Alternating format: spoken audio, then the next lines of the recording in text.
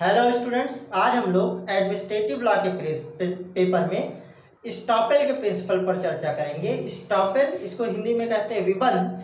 तो जो administrative law का में स्टॉपेल का प्रिंसिपल है, इसको एविडेंस से इनकॉर्पोरेट किया गया है, साक्ष्य विधि से लिया गया है। और स्टॉपेल का प्रिंसिपल साक्ष्य विधि के अंतर्गत पढ़ा पढ़ाया जाता है।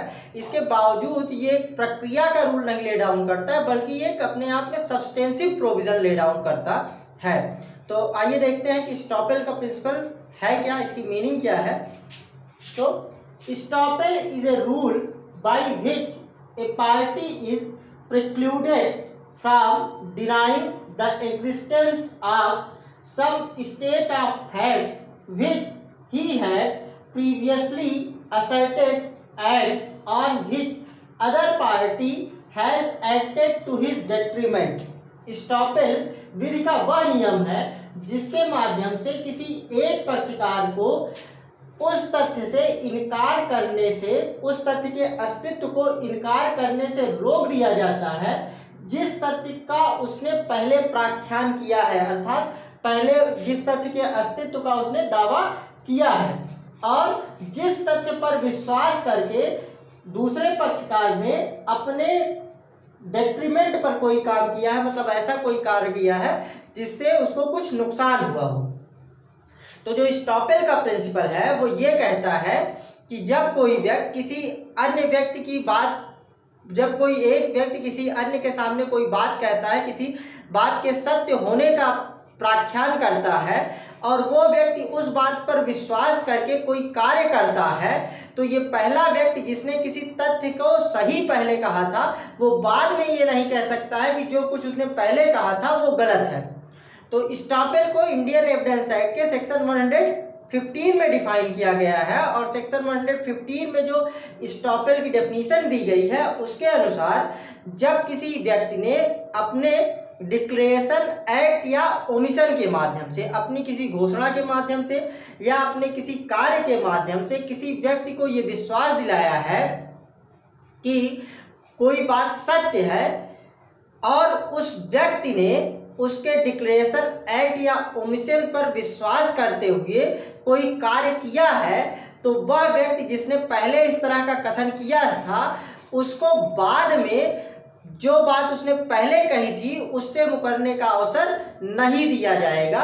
ये है स्टॉपेल का प्रिंसिपल। स्टॉपेल का प्रिंसिपल की जो डिफिनीशन दी गई इंडियन एविडेंस एक्ट में सेक्शन 115 में और सेक्शन 115 में एक इलस्ट्रेशन दिया गया है। तो ये डेफिनीशन और इलस्ट्रेशन पिकर्ड वर्सेस सीयर्स के केस पर बेस्ड है। तो पिकर्ड वर्सेस सीयर के केस में मामला ये था कि एक व्यक्ति ने दूसरे व्यक्ति को यह भरोसा दिलाया कि एक सर्टेन पीस ऑफ़ लैंड उसका है। और उसने उस पीस ऑफ़ लैंड को उस दूसरे व्यक्ति को बेच करके उसका पैसा ले लिया। जबकि जिस समय उस पीस ऑफ़ लैंड को ट्रांसफ़र किया गया था, उस समय वह पीस ऑफ़ लैंड सेलर का ना हो करके बस की बल्कि उसके पिताजी का था। सब्सिक्वेंटली वो पीस ऑफ़ लैंड उस व्यक्ति को जिसने बेचा था, उसको इनहेरिटेंस में मिल गया। तो उसने इस बात के लिए सूट लाया कि जब उसने ज़मीन को बेचा था, उस पीस ऑफ़ लैंड को बेचा था, तब उसके पास उस पीस ऑफ़ लैंड को ट्रांसफ़र करने की पावर नहीं थी, इसलिए उस ट्रांसफ़र को वाइट डिक्लेयर कर दिया जाए।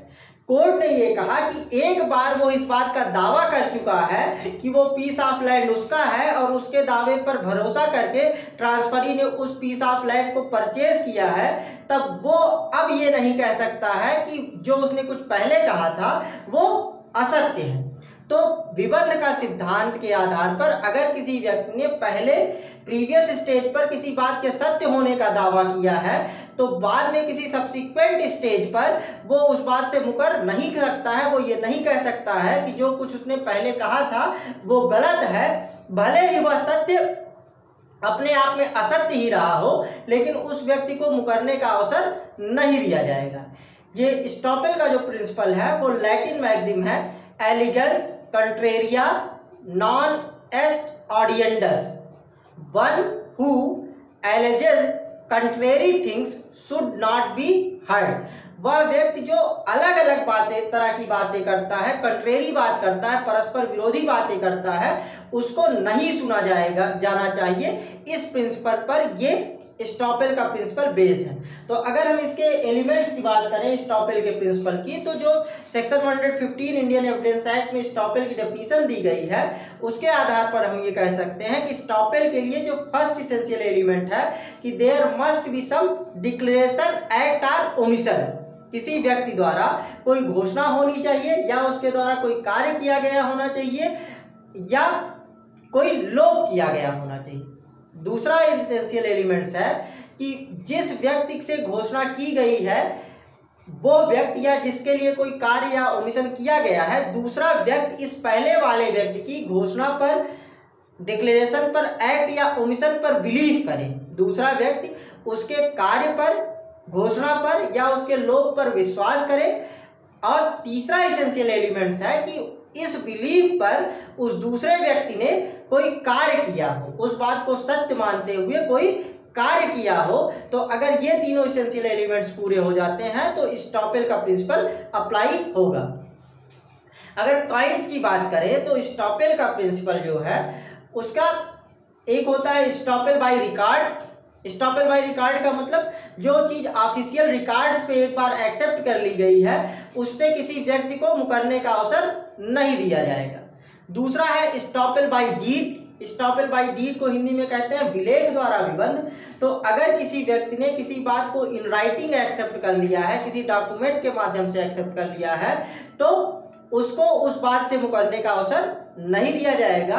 और तीसरा होता है स्टॉपेल बाई कंडक्ट आचरण द्वारा विबद्ध। तो अगर किसी के, किसी व्यक्ति के आचरण के आधार पर हम ये किसी तथ्य की सत्यता पर विश्वास कर लेते हैं तो ऐसी स्थिति में उस व्यक्ति को जो उसके आचरण से परिलक्षित होता है, उससे मुकरने का अवसर नहीं दिया जाएगा। ये है स्टॉपेल बाई कंडक्ट इसके अलावा एक होता है प्रोमिजरी स्टॉपेल प्रोमिजरी स्टॉपेल को हिंदी में कहते हैं वचन विबंध।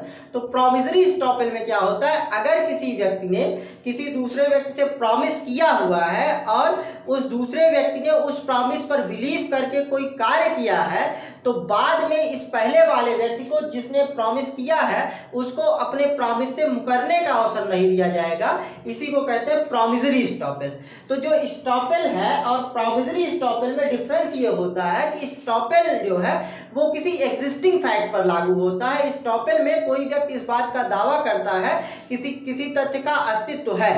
ये प्रेजेंट कंडक्ट या या प्रेजेंट डिक्लेरेशन पर बेस्ड होता है। जब ये जो प्रोमिजरी स्टॉपेल होता है, ये प्रॉमिस पे बेस्ड होता है तो ये किसी फ्यूचर कंडक्ट पर बेस्ड होता है। प्रोमिजरी स्टॉपेल में कोई व्यक्ति ये प्रॉमिस करता है कि वो फ्यूचर में इस तरीके से इस पर्टिकुलर वे में एक्ट करेगा। और जब वो फ्यूचर में ऐसा नहीं करता है, तब उसको स्टॉप किया जाता है। तो स्टॉपेज जो है, वो प्रेजेंट में अप्लाई होता है एग्जिस्टिंग फैक्ट्स पर अप्लाई होता है, और प्रोमिजरी स्टॉपेज फ्यूचर पर अप्लाई होता है, ठीक? एक केस है इसमें, Motilal Padampat sugar mills versus state of UP. Motilal Padampat sugar mills versus state of UP के केस में सुप्रीम कोर्ट ने यह कहा कि प्रोमिजरी स्टॉपेल का प्रिंसिपल गवर्नमेंट के अगेंस्ट भी अप्लाई होता है। इसका मतलब यह है कि अगर गवर्नमेंट ने किसी जनरल पीपल से या किसी व्यक्ति से कोई प्रॉमिस किया है और वो सब्सिक्वेंट स्टेज पर उस प्रॉमिस से मुकरना चाहती है तो उसको प्रॉमिसरी स्टॉपेल के बेस पर रोक दिया जाएगा। इस Motilal Padampat sugar mills versus state of UP के केस में फैक्ट्स ये थे कि गवर्नमेंट ने एक स्कीम डिक्लेयर की। उस स्कीम में, उसने कहा कि जो न्यू इंडस्ट्रीज़ स्टैब्लिश की जाएँगी उनको तीन साल तक सेल्स टैक्स में एग्जाम्पन्स दिए जाएँगे। और ये मोतीलाल पदमपत शुगर मिल्स जो थे इनसे भी उन्होंने ये प्रॉमिस किया हुआ था कि अगर वो कोई न्यू इंडस्ट्री स्टैब्लिश करते हैं तो उनको तीन साल तक आ, उस सेल्स टैक्स में एग्जामेशन दिया जाएगा। इन्होंने शुगर इन्होंने अपनी एक इंडस्ट्री स्टैब्लिश तो की लेकिन गवर्नमेंट ने सब्सिक्वेंटली उस स्कीम को चेंज कर दिया। तो इन्होंने गवर्नमेंट को इस स्कीम को चेंज करने के लिए चेंज करने से रोकने के लिए प्रोविजरी स्टॉपेल की प्ली ली और जिसको सुप्रीम कोर्ट ने रिकॉग्नाइज करते हुए ये कहा कि इन्होंने गवर्नमेंट की स्कीम पर भरोसा करते हुए इंडस्ट्री स्टैब्लिश की थी, इसलिए गवर्नमेंट को अब अपनी स्कीम को चेंज करने से रोका जाएगा, क्योंकि अगर ऐसा नहीं किया जाता है तो ये इनइक्विटेबल होगा और यहाँ पे प्रोविजरी स्टॉपेल के प्रिंसिपल को अप्लाई कर दिया गया। जो नेक्स्ट क्वेश्चन आता है स्टॉपेल के केस में, वो है इसके एक्सेप्शन तो जो स्टॉपेल के प्रिंसिपल का पहला एक्सेप्शन है, वो है लेजिस्लेटिव फ़ंक्शंस ऑफ़ स्टेट अगर लेजिस्लेचर का कोई स्टेट का कोई लेजिस्लेटिव फ़ंक्शन है तो उस पर स्टॉपेल का प्रिंसिपल लागू नहीं होता है. मतलब ये है कि स्टॉपेल के प्रिंसिपल के आधार पर गवर्नमेंट को कोई लेजिस्लेटिव फ़ंक्शन करने से रोका नहीं जा सकता है उसको कोई एक्ट इनैक्ट करने से नहीं रोका जा सकता है। दूसरा है discharge of functions under law estoppel का principle law principles of law पे नहीं अप्लाई होता है। मतलब on the point of law या अगेंस्ट लॉ स्टॉपिल नहीं अप्लाई होता है। तो अगर बाई लॉ गवर्नमेंट को कोई फ़ंक्शन डिस्चार्ज करने की ड्यूटी दी गई है।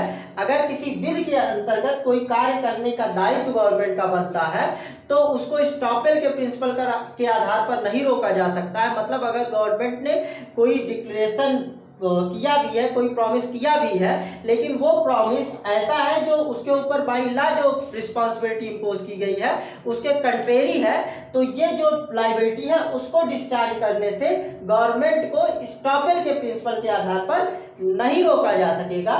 और तीसरा है अल्ट्रा वायर्स का प्रिंसिपल अल्ट्रा वायर्स का प्रिंसिपल ये कहता है कि अगर कोई गवर्नमेंट ऑफिशियल अपनी ऑफिशियल कैपेसिटी से बाहर जाकर के कोई कार्य कर रहा है, वो अपनी ऑफिशियल कैपेसिटी से बाहर कोई, जाके कोई प्रॉमिस करता है तो उन मामलों में भी स्टॉपेल का प्रिंसिपल अप्लाई नहीं होता है। तो ये हमारा डिस्कशन था स्टॉपेल के प्रिंसिपल पर। मिलते हैं नेक्स्ट लेक्चर लेक्चर में एक नई टॉपिक के साथ। Thank you